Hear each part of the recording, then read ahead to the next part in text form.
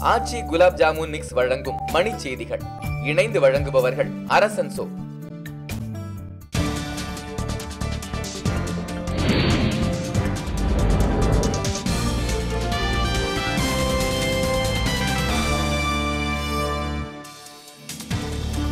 புதுக்கோட்டை மாவட்டம் கே. புதுப்பட்டியில் நகைக்கடை பெண் அதிபரை தாக்கி இரண்டு கிலோ நகைகள் கொள்ளை. உதகை செல்லும் இரண்டாவது கொண்டை ஊசி வலையில் மரங்கள் முறிந்து விழுந்ததால் போக்குவரத்து முடக்கம்.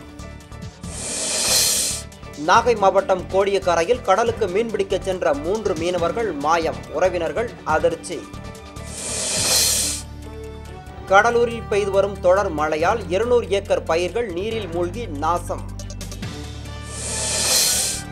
தொடர் மழையால் பாபநாசம் அணையின் நீர்மட்டம் ஒரே நாளில் இரண்டு அடி உயர்வு. வளமும் நலமும் பெற்று சிறந்து விளங்கிடுமாறு முதலமைச்சர் ஜெயலலிதா ஆயுத பூஜை வாழ்த்து. கூடங்குளம் பகுதியில் நடைமுறையில் உள்ள நூற்றி நாற்பத்தி நான்கு தடையானையை விளக்கக் கோரி நெல்லை மாவட்ட ஆட்சியரிடம் மனு. பெரியகுளம் அருகே இரண்டு அரசு பேருந்துகள் நேருக்கு நேர் மோதி விபத்து. இருபது பேர் படுகாயம். பொள்ளாச்சியில் டெங்கு காய்ச்சல் தடுப்பு பணிகள் தீவிரம். மாவட்ட ஆட்சியர் விழிப்புணர்வு பரப்புரை.